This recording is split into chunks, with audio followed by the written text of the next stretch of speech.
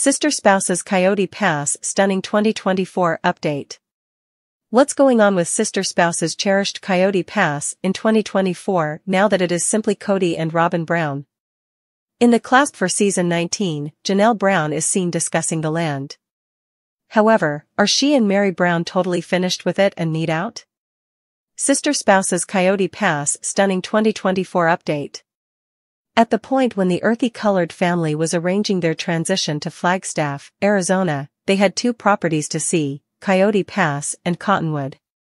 However, both were delightful, there was an otherworldly thing about Coyote Pass so they selected to get building four homes on it and were going. In any case, Kody Brown concluded he needed his own spot, which made a huge difference. The greatest issue was which part every individual would get. It was at long last settled, yet they couldn't work until it was completely paid off. Janelle Brown battled with this since she needed to be on the land. She ultimately purchased a RV so she could live there and begin her life on Coyote Pass. All the more thus, she had a drawing of the house she needed made up to get this show on the road. In any case, it should have been paid off. Christine Earthy-colored Woolley, Kody's third spouse, left the family in 2021 and sold them her part for $10. Meri and Janelle continued to leave, so where does Coyote Pass stand in 2024? As per In Touch week after week, there is still cash to be paid and that is in with no reservations back charges. Janelle and Kody Brown took care of what they owed, which was $340,000. The part he claimed with Robin was additionally paid as much as $170,000 thus, as of June 2023, what was owed to Constancy Public Title Organization was settled completely.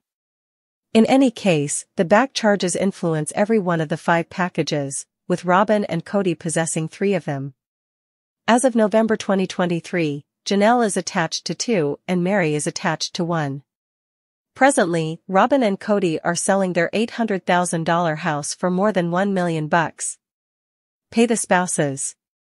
As expressed on Sister Spouses, Meri Brown cares very little about expanding on Coyote Pass and isn't in any event, pondering the land, Christine Earthy-colored Woolley had the option to call it even by selling her part and bringing the benefit from the offer of her back home to begin another life in Utah.